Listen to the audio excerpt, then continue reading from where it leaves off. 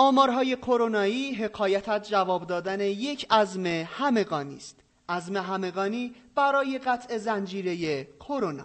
روزی شده که الان فوتی نداریم ولی روزای قبل داشتیم. خب این پایین اومدن آمار چی بوده دلیلش؟ خب مردم رعایت کردن دیگه. ما دادم بالاخره دیگران مریض نشن خودم مریض نشن چون کرونا هست باید رعایت کنیم.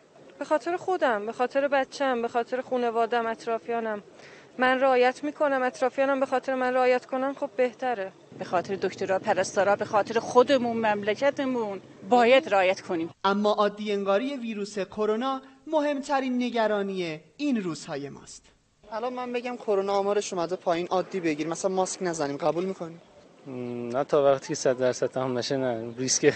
آخرش دمتون شکست بدیم دیگه کرونا رو.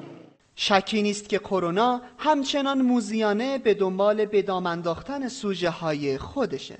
افراد بی مبالات و سهل انگار. اگه این زنجیره مراعات کردن بخواد قطع بشه به چه صورتی میشه دوباره؟ باز شروع میشه میره بالا دیگه. کرونا باز میره بالا. الان میگن احتمال داره مدرسه باز بشه. به نظر من نباید باز بشه. تا کلا کرونا بره. آمارا که اومده پایین حالا دلیل داره؟ بازم ماسک بزنی؟ خب آره دیگه دوباره احتمال داره که مثلا بیشتر بشه. بالاخره باید این پروتکل های بهداشتی رو رعایت کنیم و ماسکینا بزنیم تا این کرونا رو ایشالله شکست بدیم. اونهایی که در این نظم عمومی همراهن باید این همراهی رو ادامه بدن و اونهایی که اندکی سهل انگاری می‌کنن باید به جد حواسشون به کرونا باشه تا این زنجیره هرچه زودتر قطع بشه.